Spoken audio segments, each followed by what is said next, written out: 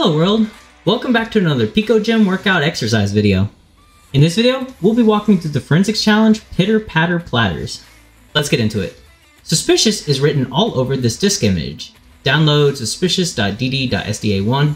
Okay, so you could load this into Autopsy, and there's probably a way to figure it out that way, but the easiest method that I used to solve this was I actually cracked this open in FTK Imager, Add evidence item. We want image file. Next. Finish. It might be a little hard to see. I couldn't figure out how to increase the size of the text in FTK Imager, but if we go to root, you'll see the suspicious pack file.txt file. Nothing to see here, but you may want to look here, and then it has an arrow pointing, and the arrow pointing points to this file Slack. Now, I don't know where this is stored typically, but I didn't see this file when I looked at it in Autopsy. But as you can see inside the file Slack, our flag is stored right there. So that is the answer to this challenge. So we're just going to copy that and we're going to go to CyberChef. We're going to put that in.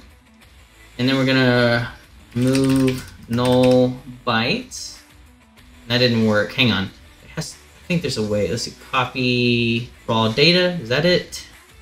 I can copy it with... Okay, that did not work. Let me try copying Unicode. There we go. That got rid of the extra characters. So let's do reverse. We just want to reverse the string. And there's our flag. Be still my heart. So we'll copy that. Paste it in and submit. Alright, if you enjoyed the video, drop a like and subscribe to the channel to show your support. Turn on post notifications to get regular injections of cyber content directly into your feed. Check out our Patreon, join our Discord, and follow us on Twitter. Links in the description box down below. And leave any feedback or questions in the comment section down below. This is Almond Milk. Thanks for watching. Goodbye, world.